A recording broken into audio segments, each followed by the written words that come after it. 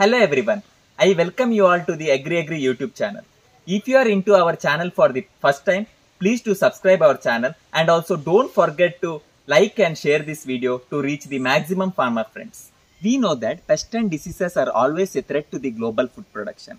So mainly in case of plantation crops, Phytophthora species are causing huge losses, economic losses worldwide and it is most severe pathogen. So uh, it causes uh, Mahali or Koleroga and also fruit rot disease in arecanut and also bud rot in coconut, black pod rot in cocoa and also foot rot or quick wilt in black pepper. So in order to manage this uh, devastating pathogen, mainly our age-old uh, fungicide preparation that is Bordeaux mixture is highly effective. Even though so many chemical fungicides are there, this has rendered very effective due to its multi-site mode of action. So in our today's video, we are going to demonstrate in detail the preparation uh, steps in the preparation of this Bordeaux mixture. Bordeaux mixture was discovered by PMA Millardet in the year 1883 to protect the grape vines from downy mildew. Later on, in the year 1908 to 1909, Bordeaux mixture got extended to India when Leslie C. Coleman used Bordeaux mixture to spray arecanut palms to prevent fruit rot or Mahali disease. Bordeaux mixture is highly effective as prophylactic spray, which means it prevents the pathogen development rather than curing the disease. So, it must be sprayed well in advance during onset of monsoon. It is highly effective when sprayed using mist nozzle. It is also having very low toxic effects on mammals and also these ingredients are easily available in the market. Since its introduction, we are using this Bordeaux mixture to protect our economically important crops. Even though we are using it from ancient period, still lot of confusions are underlying in the preparatory steps of Bordeaux mixture. That is, quantity of ingredients required, pH stabilization and also water requirement, etc. So in order to get rid of all these confusions, we are demonstrating each and every step in the preparation of Bordeaux mixture along with the quantity of ingredients in detail so that our farmers can get better idea on this and it finally leads to the effective disease management. Bordeaux mixture, a tri-basic solution, is prepared by using copper sulfate, lime and water. They are mixed in 1 is to 1 is to 100 ratio for effective control. Copper sulfate is available in markets in 1 kg or 50 kg packets. When we buy copper sulfate, we must see for ISI mark to get best quality and to avoid adulterations. When we buy low quality copper sulfate or copper sulfate without ISI mark, there may be chances of adulteration with ammonium hydroxide and also with other salts, which will reduce the fungitoxic effects of Bordeaux mixture. Copper sulfate is available in market in two forms that is diamond crystal and sugar crystal form. Both are having 25% or sometimes 24.8 to 25.2% copper content and rest of the content is the carrier. It dissolves in water up to 99%. Before using, 1 kg copper sulfate crystals must be dipped in a tub containing water by placing crystals in a cloth, then tying it up and hanging with a support over the bucket containing around 5 liter water to dissolve it completely. After placing, just stir it once. It takes around 1 to 1.5 hours to dissolve completely and get the clear sky blue colored solution.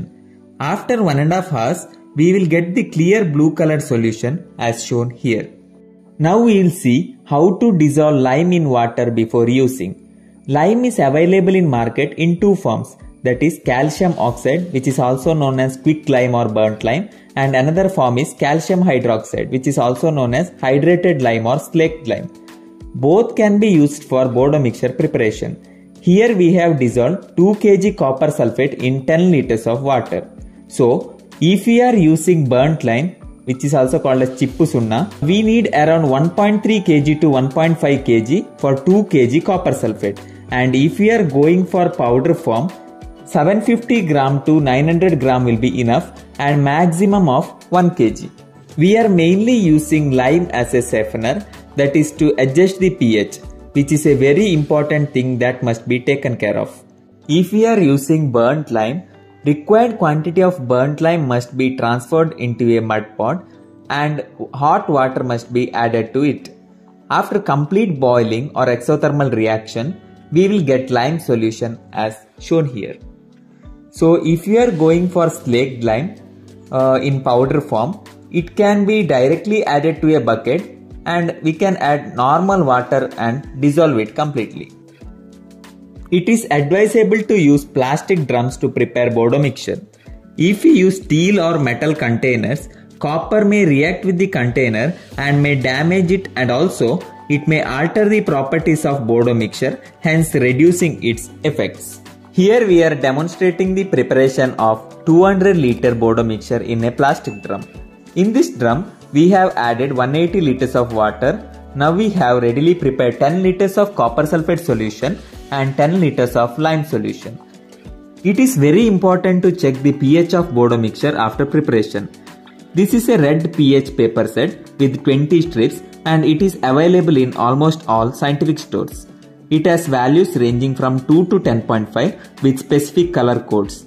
2 indicates highly acidic and 10.5 indicates highly alkaline. So, as shown here, if we take a strip of red litmus and dip in the lime solution, which is highly alkaline, it turns blue. And when we dip it in copper sulfate solution, color of strips does not change due to its acidic nature. So, the pH of Bordeaux mixture or any other solution is estimated by comparing the strip color after dipping in the solution with the color present in the litmus paper reference chart.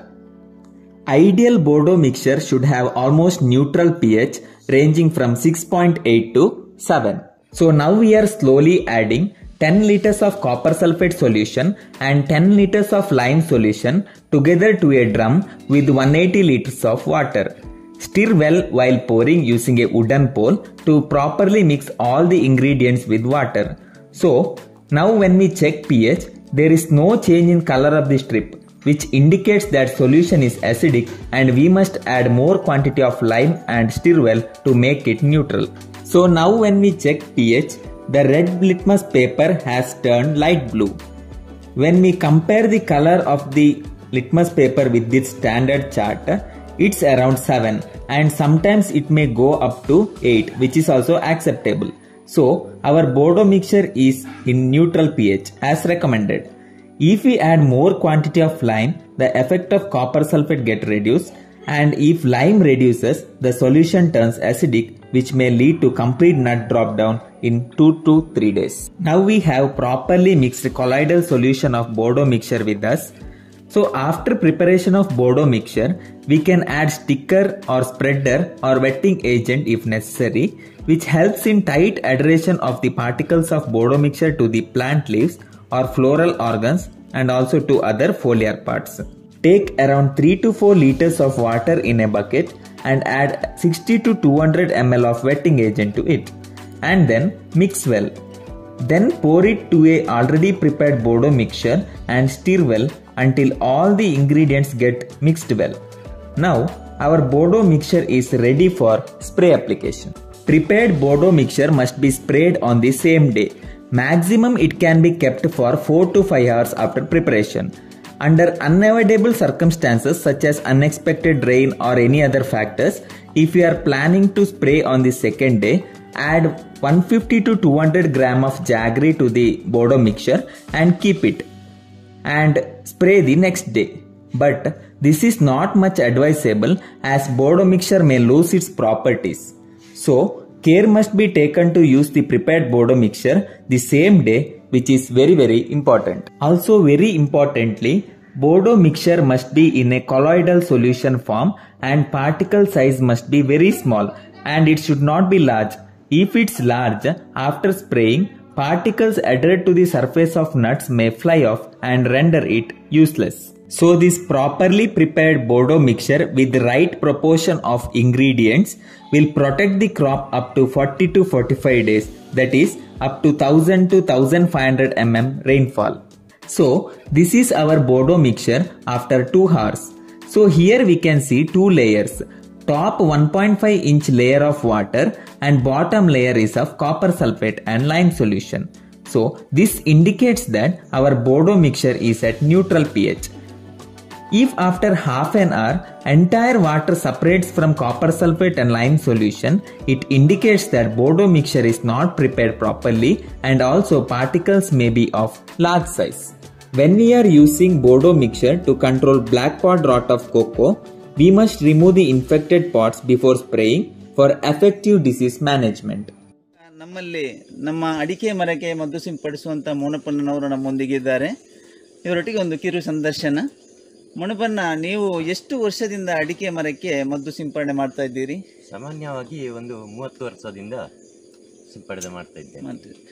ಈಗ ನೀವು ಅಡಿಕೆ ಮರಕ್ಕೆ ಸಿಂಪಡಣೆ ಮಾಡುವಾಗ ಅದು ಯಾವ ರೀತಿ ಸಿಂಪಡಣೆ ಮಾಡ್ತಾ ಇದ್ದೀರಿ? ಅಡಿಕೆ ಮರಕ್ಕೆ ಹತ್ತಿ ಒಂದು ಮನೆ ಉಂಟು ಇದು. ಲಾಕ್ ಮಾಡಿ ಕೂತು ಮೇಲ್ಗಡೆಯಿಂದ ಗೊನೆಗೆ ಹೀಗೆ ತಿಳ್ಬೇಕು